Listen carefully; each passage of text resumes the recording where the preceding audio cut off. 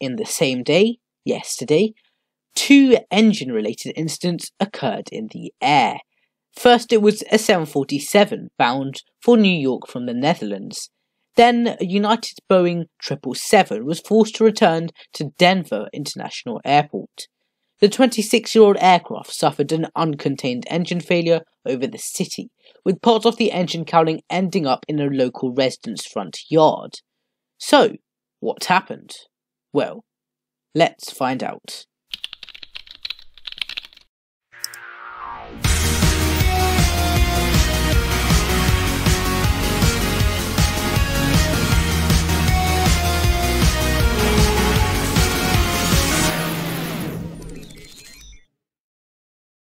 It is indeed incredibly rare for an aircraft to suffer an uncontained engine failure. In August 2019, it had been reported that a car window in Italy had been smashed by debris from a Norwegian 787's uncontained failure. However, the 21st of February had been a day of incredible coincidence, as not one but two major uncontained failures occurred over populated areas. By the way, if you haven't seen my video already about the event with the 747, be sure to head over to it via the link in the description or the card icon appearing now in the top right hand corner of your screen.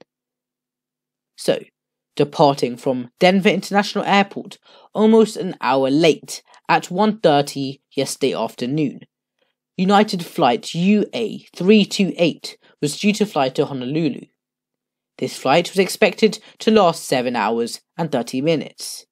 However, the flight ended up just lasting 30 minutes after the aircraft's number 2 engine suffered an uncontained engine failure around 5 minutes into the flight at 13,400 feet. I'm sure you have seen the video of the very badly damaged engine by now. If not, here's a short clip of it.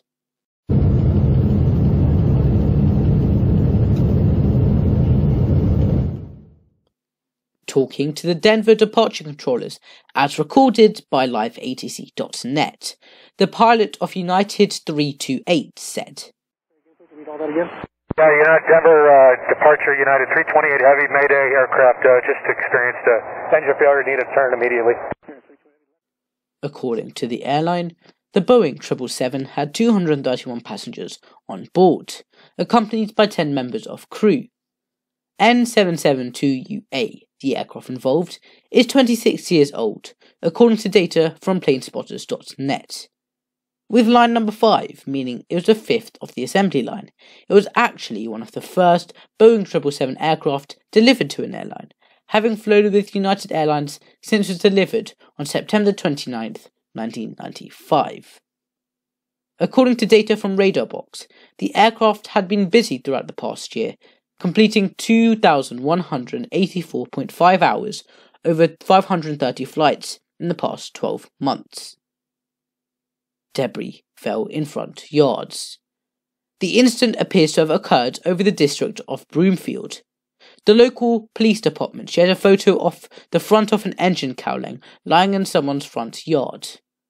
They then went on to urge the public not to touch the debris if they found any and report it immediately. The police department said the NTSB is dispatching a team that wishes to view all the debris in the area. The department went on to share further photos of a side cowling lying in a field. On the incident, a United Airlines spokesperson told aviation media outlet Simple Flying. Flight 328 from Denver to Honolulu experienced an engine failure shortly after departure, returned safely to Denver, and was met by emergency crews as a precaution. There are no reported injuries on board, and we will share more information as it becomes available. So, what do you make of the second uncontained engine failure over a populated area in the space of less than two days? Let me know what you think and why in the comment section below. But, you know the drill now, that is all in today's video. So please, please, please, hit the like button if you like today's video, subscribe, first time or a veteran here, as I'd massively appreciate this.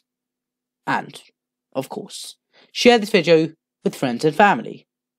But until next time, keep your eyes on the skies.